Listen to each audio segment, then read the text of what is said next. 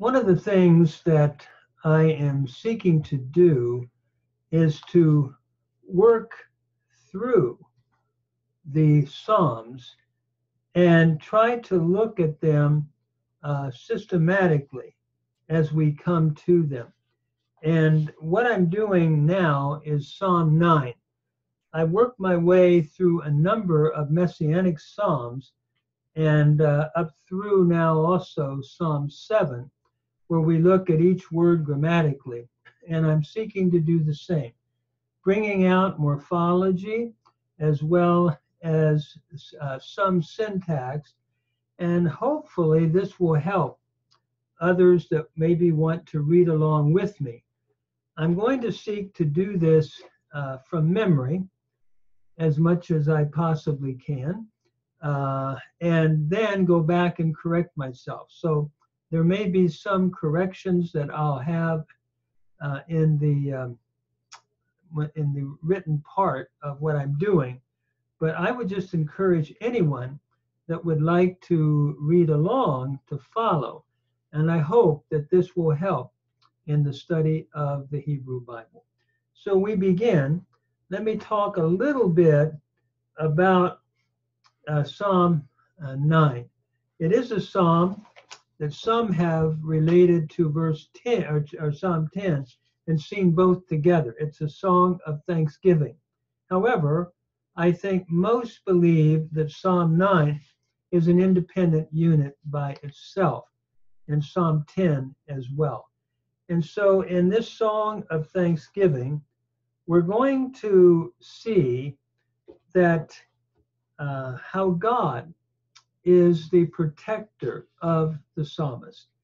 And we can apply this over the board, I think, in the New Testament, how the Lord has promised to be with those who uh, love Him and promise never to leave them.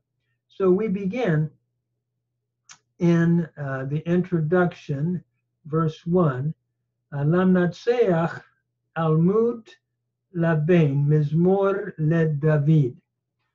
That is a psalm, or for the leader, upon the Mut Lavin, a psalm by David. Notice uh, Lam Natseach is from the root Natsach, uh, to be, we could say, uh, to the uh, leader or the preeminent one. It is interesting that as we look at this, we have a participle, and notice we have a shava followed by a pathak, doubling of the middle radical in the tsadi, and so uh, for the leader. And we do not know what mut uh, labain is. Some take it to simply be like a musical melody of some sort. So for the leader, upon mut labain, mizmor le David, that is a song belonging to David. And I personally would probably understand David as the authorship, seeing the Lamed here as a Lamed of, of authorship. So then we go on in verse 2. And notice it reads, Ode Adonai bechol levi, asapra kol nifla otecha. That is, I will give thanks to the Lord with all of my heart, with my whole heart. And I will declare all of your marvelous works, all of your uh, wonderful works. Notice, uh, first of all, odeh, we have the verb yada, which historically was vada, a pei vav uh, root.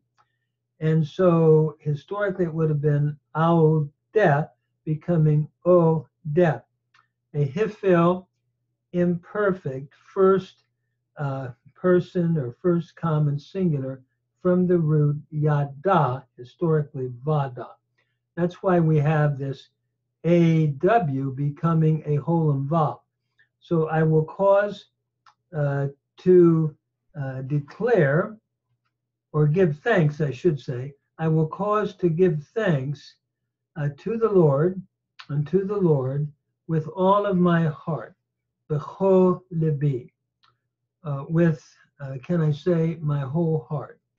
And notice libi is from the noun lev, and then and lib is in construct with lev, and e is your pronominal suffix, first person singular. So I will give thanks unto the Lord with all my heart. Asapra kol niflaotecha. I will tell or I will declare. Notice asapra, we have a piel uh, imperfect first person uh, singular from the root safar. And we could see this as a cohortative. That is, let me declare, especially with the ah suffix. And we have a hatef pathak under the aleph, followed by pathak. That gives it away as a piel morphologically. And we have the doubling of the middle radical in the in the fee. So I uh, or in the in the pet. So I will declare all nifla otecha, all of your, and we could translate this marvelous works. Notice uh, nifla otecha is from the root uh, uh, pala, meaning to be wonderful, that noon prefix indicates that we're looking at a nifal stem. This is a nifal participle, feminine plural, from the root pala, uh, to be a wonder. And notice the echa uh, is your pronominal suffix, second masculine singular. So let me declare all of uh, we could render it your marvelous works. And then I will tell, uh, I will be glad. Now we move on to verse 3. Notice verse 3 Esmacha ve'el uh, ve'el eltsa v'chvak azamara shemcha elyon. That is, again, we have a cohortative uh, let me be glad, or I will be glad, and we have a qal uh, imperfect used as a cohortative here, first person singular, first common singular from samach, to be glad. And the next word is another cohortative, of el sa, from alat, to exult uh, or to exalt, E X U L T. I will exalt in you. Again, uh, he's really making uh, a praise here. I'm going, or let me exalt in you. And then let me sing praise to your name. Azamra Shemcha Elyon. Notice again, we have another uh, cohortative here, except notice the vowel pattern here. Azamra, we have a piel uh, cohortative first person singular from Zamar. Uh, again, with the ah giving it away as well, so as well as the context. So uh, let me remember, uh, or excuse me, let me sing praises uh, to your name. Shemcha means name from Shem, and Ha is your pronominal suffix, second masculine singular, Elyon, O Most High. In other words, I want to praise your name. And that should be what we want to do to praise the name of the Lord. And uh, uh as Christians who uh, are let's say, reading this uh, with me, and I am a, a minister, a Christian minister, it's one of the challenges that we have every day to praise the Lord for all that He has done for us. And then he goes on in verse 4 to continue. Uh, Beshuv oyevai achor yikashelu veyovadu mipanecha. And so we translate verse 4 uh, when my enemies are turned backward or are turned back. Yikashelu veyovadu mipanecha. Uh, they stumble and they perish uh, in your presence or at or from your presence. Notice beshuv here is the infinitive construct, the qal infinitive construct from the root shu. It's where we get the word to repent, to turn about, or to turn around. Except here, it's looking at the psalmist's enemies being turned back. Notice when my enemies are turned back. And oyevai, notice, is from oyev. It is a qal participle, uh, masculine singular uh, from oyev. Notice the o vowel, the holam vav, uh, giving it away as a participial form. And so when, and the I is your pronominal suffix, first uh, person singular. So when my enemies are turned behind or are turned back. Yakashalu vayovadu mipanecha. That is, they stumble. And notice, uh, yekashalu is from yin kashalu. Uh, here we have another nifal form in verse 4. Uh, notice what is happening here in this nifal uh, form. The noon has assimilated into the kaf. So yin kashalu has become yik kashalu historically by progressive assimilation. And that's why we have the dagesh in the kaf. So as we render this, they shall stumble and they shall perish from my presence or from my face. Notice the yovadu is from avad to perish. It's a qal imperfect, a third masculine plural from avad. And the vav here is just your simple vav uh, conjunction.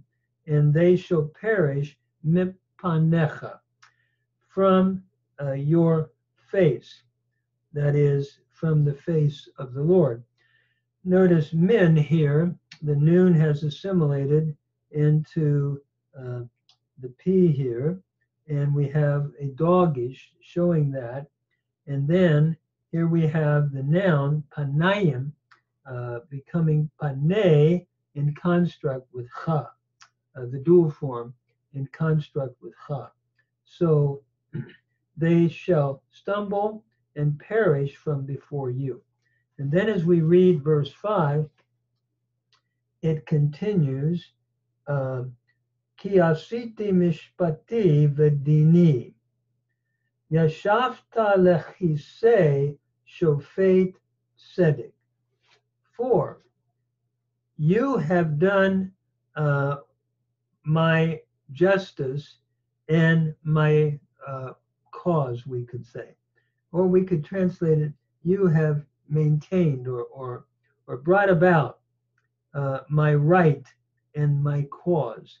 Uh, Yashafta lechise shofet tzedek. You set uh, to your throne or upon your throne, judging uh, as a righteous judge or judging uh, with righteousness, tzedek. Notice uh, key is giving uh, a causal clause here for showing how God has uh, turned back the enemies of the psalmist, he's saying, for you have uh, done or maintained my right or the justice due me and my cause. Notice asita is your qal, a perfect second masculine singular with the ta suffix from the root asa. By the way, these forms, in my understanding, were historically Lamed Yod forms, and we see that Yod coming back again in this form. So you have uh, maintained would be a good way to translate it or, or, or done, uh, brought about my justice, mishpati. Mishpat means justice, and e is your pronominal suffix, first person singular, and my uh, right cause, uh, vedini, my judgment, my right judgment. Notice din is judgment, and e is your pronominal suffix, first person singular. And you sit, yeshafta lechisei shofet tzedek. You sat upon the throne, judging uh, with righteousness. Notice yashafta is from the root yashav, to set. It's a qal perfect second masculine singular from yashav, and to your or to the throne, uh, upon the throne, we could say, uh, kisei meaning throne, uh, followed by the inseparable preposition the lamed, shofet, judging with righteousness. Uh, this is a participial form from shafat. Uh, it can also be understood as a noun, simply meaning a righteous judge. So you sit on your throne judging uh, with righteousness. And what a, a reassurance here. We're seeing uh, the praise of the psalmist. And then he's defining what God is like, who brought that uh, deliverance to him.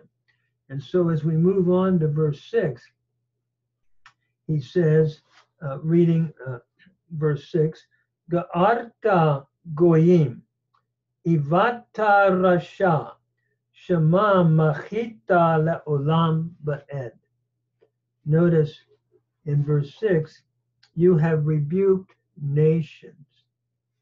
You have destroyed the wicked. Their name you have wiped out or you have blotted out forever and ever. Notice Ga'arta is your qal, a perfect second masculine singular from the root Ga'ar to rebuke. Goyim means nations. It's a masculine plural uh, suffix ending uh, from goy.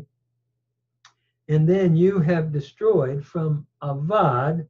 Notice here we have a piel, a piel form with the I, with the doubling of the middle radical. You have destroyed, and so it's a piel uh, perfect second masculine singular from avad. So you have destroyed uh, the wicked. And uh, Rasha here could be a collective singular, the wicked ones collectively. Wicked one meaning wicked ones. And their name, uh, Shimam Machita, uh, or Shemam, or uh, Shemam, their name, uh, you have blotted out. Macha is the root here, and it is a qal uh, perfect second masculine singular from macha. So their name, uh, and am, by the way, is that pronominal suffix, third masculine plural. Their name you have blotted out, the ulam ba'ed, forever and ever.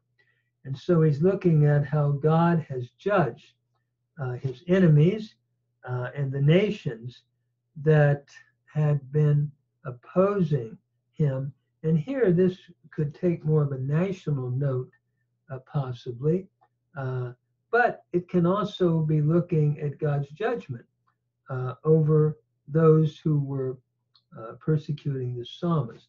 So, as we go on in the next verse, uh, verse 7, Ha'oyev tamu choravot la netzach, the arim natashta, avad zikram hema. Notice as we read this verse, we could understand ha-oyev as an address, something like, uh, O enemy would be a way that we could uh, render it. And then he goes on, as concerning the enemy, maybe we could say, uh, the probably concerning you, O enemy, uh, the waste places, choravot la netzach tamu, the waste places have come to an end. And notice uh, tamu is from the root tamam, and it is a qal a perfect second uh, person uh, plural from tamam. That is, the waste places have come to an end forever, and the cities uh, which you uprooted, O Lord.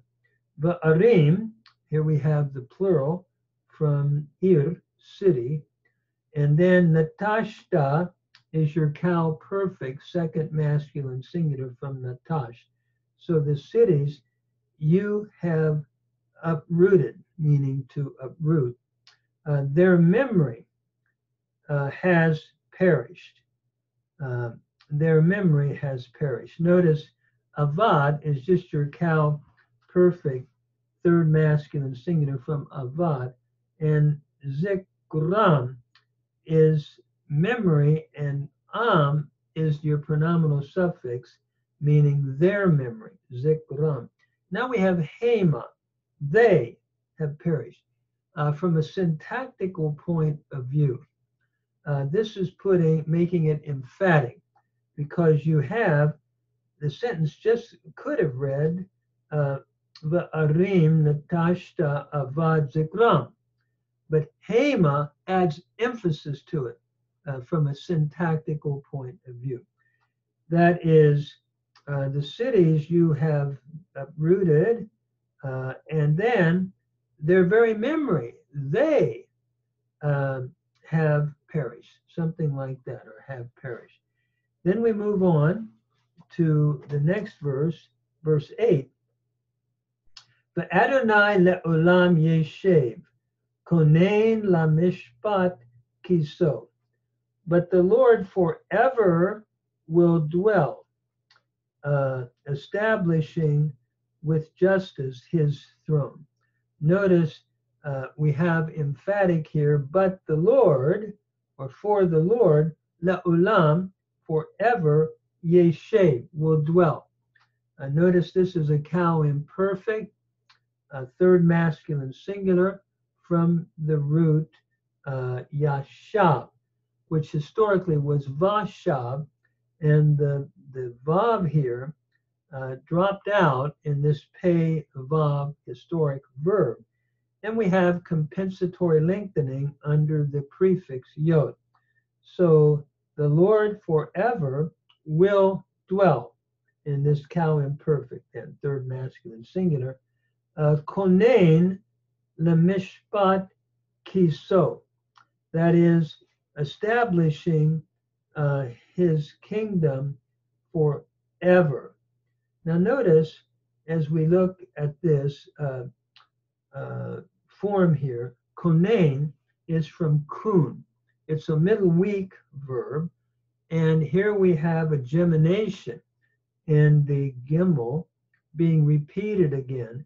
And we have a polel, uh, uh, we have a polel uh, perfect here from kun.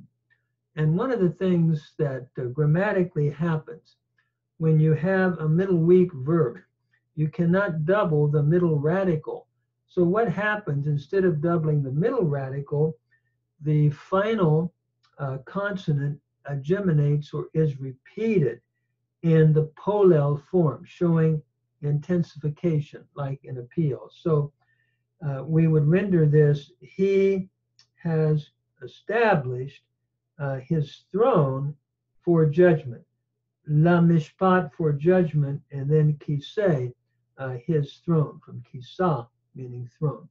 Then as we move on to verse 9,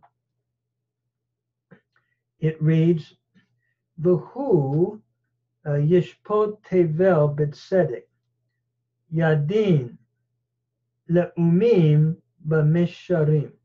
But he will judge the earth in righteousness, looking at the righteous judge, the psalmist is saying, who will judge the earth uh, in righteousness. Notice who is your personal pronoun he. I always get amused. Who is he and he is she uh, in, in the Hebrew uh, personal pronouns, third person uh, personal pronouns.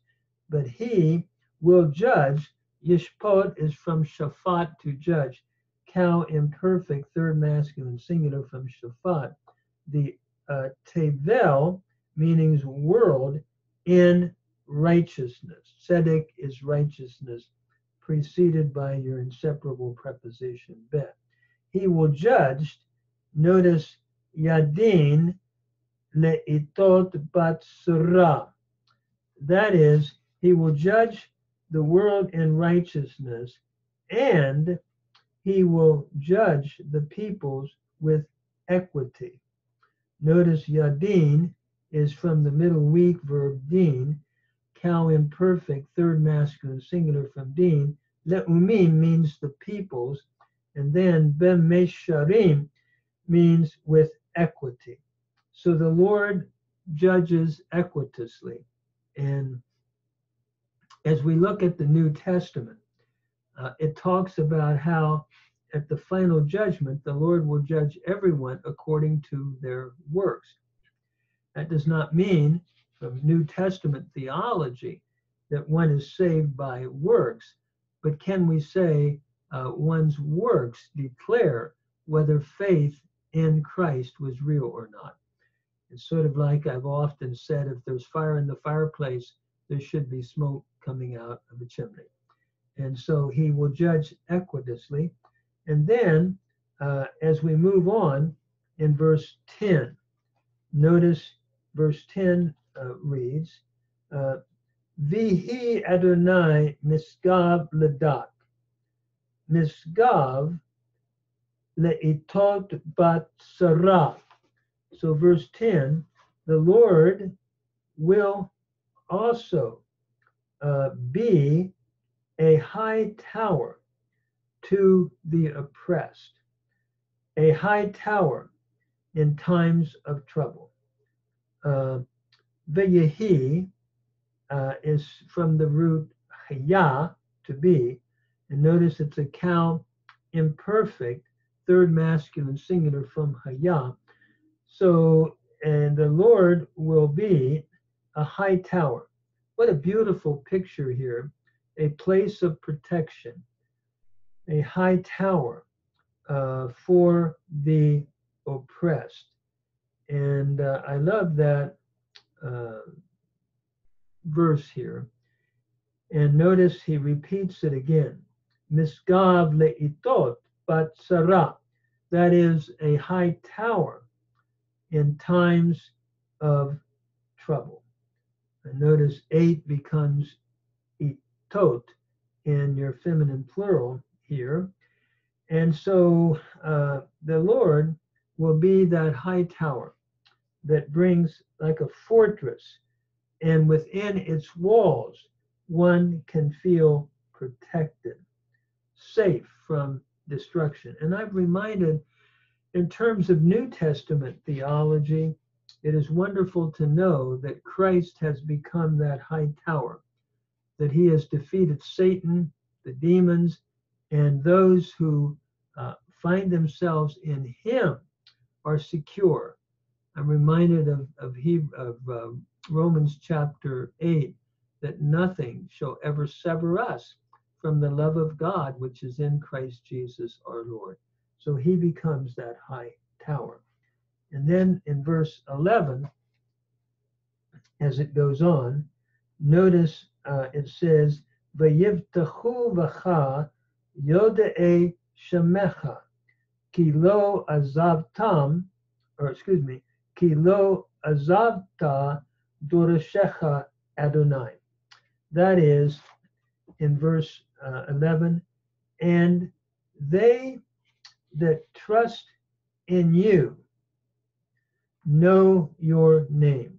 They that put their trust in you are the ones who know your name. For you have not abandoned or you have not forsaken those who seek you, O Lord. Notice Vayivtahu is from the root batach, to trust. It is a qal imperfect, a third masculine, a plural from batach. And they that trust in you, bacha, your uh, inseparable preposition ve followed by cha, your pronominal suffix second masculine singular. Those who know your name have trusted in you. Notice uh, yod a is from yada to know, and here we're looking at a participle. Notice the cholim bob, the oval, indicates a participial form, a qal participle, a masculine plural from yada. And the Seriyod puts it in construct with shemecha. So those, uh, the knowers of your name. Notice Shem means name, and Cha is your pronominal suffix second masculine singular. So the knowers of your name uh, trust in you, and you have not forsaken those who seek you. Notice ki or for. The reason they can trust in you is for, lo, not, you have not forsaken. Azavta is your qal perfect second masculine singular from azav, to forsake. And then dorashecha, again, we have a participle, a qal active, uh, or a qal participle, I should say, masculine plural from darash, with a pronominal suffix in the cha. So those who trust in you, you have not forsaken. And so he goes on then to talk about how the Lord is going to avenge that which uh, has been wrong, and there's going to be a prayer of the humble then to the Lord. And so we'll go on with that later. I think I'm going to stop here rather than making this too long at verse 11. So, what we've seen here is a beautiful picture praising the Lord that the psalmist has and concluding with the Lord as a high tower and that he protects in times of trouble. And as a Christian minister, I am applying this to Christ in the New Testament, knowing that one is secure in him and that nothing, Paul tells us in Romans 8, can ever sever us from the love of God which is found in Christ Jesus our Lord. I hope that reading the Hebrew and looking at each word is helpful. I want to continue working through each of the Psalms that I can and sharing uh, with anyone that would have an interest.